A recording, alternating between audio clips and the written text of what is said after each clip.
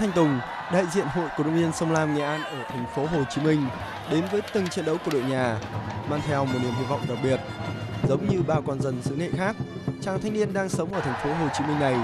khao khát muốn Sông Lam Nghệ An vô địch V-League. Nguyên nhân của sự việc bắt đầu từ một mối tình 8 năm về trước.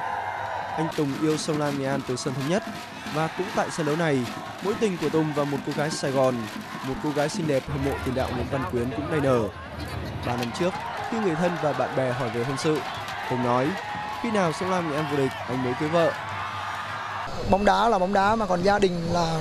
điều nó thiêng liêng. Mình mình không phải là mình mang ra để mình đánh cược.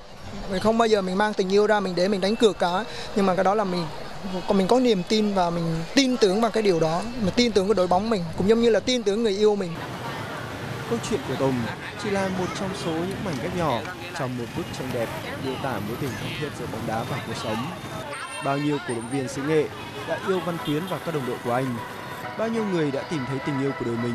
cùng những người bạn đồng hành mang màu sắc áo Nghệ An đi khắp miền Tổ quốc. Vì thế mà mỗi khi Sông Lam Nghệ An thi đấu, người ta biết ngay ở đâu có băng rôn, có áo vàng là hôm đấy có Sông Lam Nghệ An thi đấu. Chính tình yêu ấy đã tạo nên một sức mạnh tập thể, tạo nên một dàn cầu thủ thứ 12 đầy nhiệt huyết, chuyên nghiệp và cũng rất văn minh. Mong tất cả các bạn cổ động viên á, là cổ vũ một cách là văn minh, à, khách quan, sạch sẽ và tránh những cái trường hợp mà để có người lôi kéo là để làm những cái hành động không đúng với à, với pháp luật với à, tư cách của một người cổ động viên và ảnh hưởng cho đội bóng. Những cổ động viên máu lửa, trung thành, luôn hết mình và tin tưởng vào đội bóng xứ Thanh như anh Trương Thanh Tùng ở hội cổ động viên xứ Nghệ không hiếm. Vậy những người làm bóng đá xứ Nghệ, những cầu thủ sông Lam cần đền đáp lại niềm tin và tình yêu của họ ra sao? anh em ban huấn luyện cầu thủ cũng xác định là luôn luôn phải chơi hết mình Đấy, hết cái khả năng cái tâm huyết của mình mà có hết khả năng hết tâm huyết cũng không đền đáp được cái tình cảm của cổ động viên của nhân dân dành cho đội bóng